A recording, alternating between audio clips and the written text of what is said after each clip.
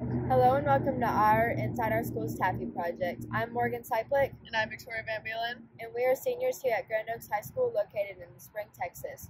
Today we are here to discuss our newly implemented mentality and strategy towards education and its environment.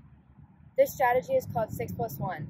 This helps to better education and its engagement and learning in the classroom. Our goal is to help lead teachers towards making this possible. Today we are joined by a few of our Grand Oaks staff members to help discuss this new idea. Today I'm here with Ms. Pryor, our assistant principal, and she is going to explain what 6 plus 1 is. Awesome. Thank you, Victoria. So 6 plus 1 is a new initiative that we started at Grand Oaks. Its roots, roots are based um, on Marzano's Art and Science of Teaching. We selected seven elements that we thought were essential to improving instruction at Grand Oaks, and we asked teachers to pick one of those elements to focus on. Okay. Since the implementation of 6 plus 1, how have you seen changes?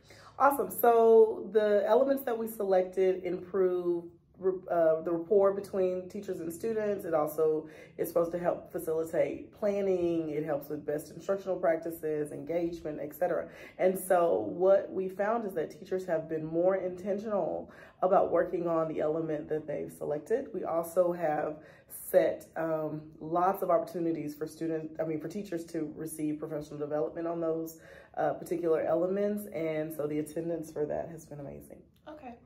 And as an administrator, how have you helped the implementation of 6 plus 1 succeed?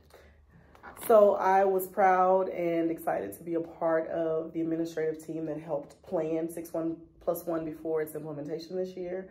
Um, now I am uh, a sounding board for the teachers. I help talk talk with teachers and help them decide what would be a great element for them to focus on. Um, I also have presented several of the staff developments related to 6 plus 1. Most recently, I did one on formative assessments, which was uh, uh, which was well attended, which was awesome. Um, this is also part of teachers' professional growth.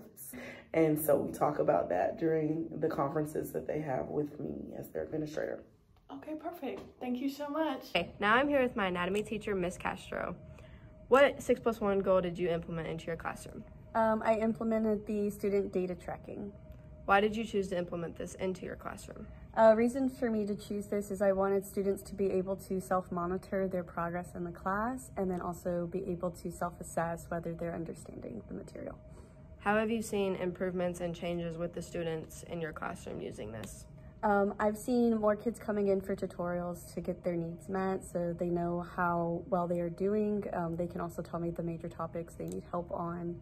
Um, and then I've seen overall their scores improve in assessments. Awesome, thank you. Hi, I'm Elaine Lawrence. I teach biology and forensic science. And my goal for the year that I'm focusing on are clear-cut routines, procedures, and expectations for my students. This is to facilitate a, an environment conducive to learning and to remove any distractions that might get in the way of their learning.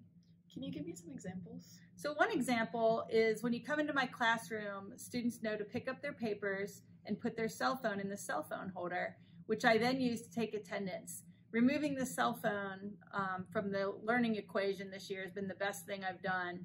Um, it really removes a distraction uh, from the, them looking at their cell phones while we're trying to learn.